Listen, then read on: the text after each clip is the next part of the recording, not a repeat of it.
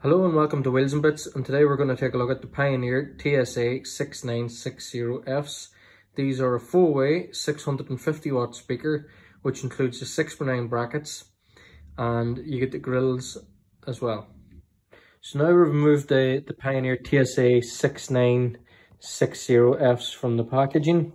You'll see you receive two speaker grill, two speaker adapters.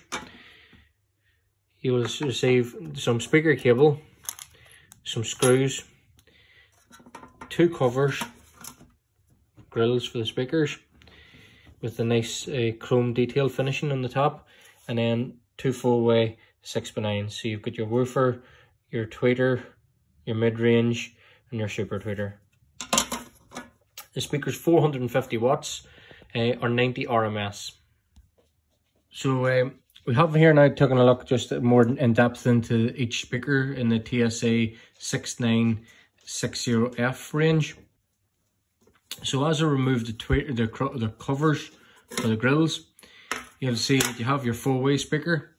Um, the speaker, as I said earlier, is 90 watts RMS. It's 89 dB reading. It's only 78 millimeters from the back of the plate to the base of the magnet. You have a right decent sized magnet to pull the cone in and out and keep up with any bass type music that you're that you're playing. Real good value speakers, sitting in around about fifty pounds sterling to sixty five pounds sterling, something like that in your shop. Um, we've used these quite a bit in our in our own store um, where we have um, these linked up to radio on the stand. They sound really really well. Uh, although that is, in fairness, to, is on a MDF speaker cabinet, which always increases the quality of the sound. Um, all rating, all ratings on the speakers are, are actually independently tested, so there's not no um, Chinese style made up wattage, six million watts out of a four inch speaker.